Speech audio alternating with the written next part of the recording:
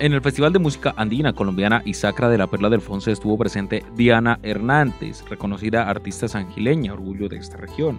María Mulata es un nombre artístico y es digna representante de la música tradicional. Está nominada en los premios Nuestra Tierra en la categoría Mujer Raíz de Nuestra Tierra, junto a Goyo, Andrea Echeverry, Duina del Mar y Farina. Invita a los angileños a darle su voto de confianza, pues virtualmente la gente puede elegir a la ganadora.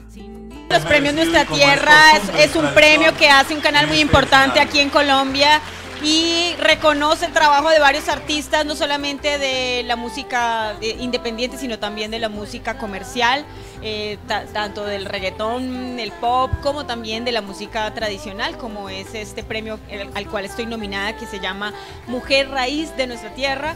Así que pues nada, aprovecho para invitar a todos los angileños a que apoyen a una sangileña en este certamen y que puedan votar y entrar a la página www.premiosnuestratierra.com y votar por Mujer Raíz de Nuestra Tierra, María Mulata, que está al final. Es muy fácil votar, como se aprecia en la pantalla, se puede ingresar a www.premiosnuestratierra.com, se desplaza hacia la parte final y se busca la categoría.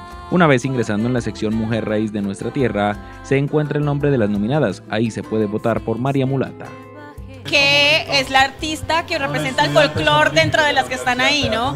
Y el premio es Mujer Raíz de Nuestra Tierra, que ya de alguna manera el folclore se pone en el servicio de la música comercial y eso me parece fabuloso porque el folclore tiene que estar de moda. Ustedes por el apoyo que siempre me han dado acá en mi tierra, dicen que nadie es profeta en su tierra, pero yo puedo decir que sí.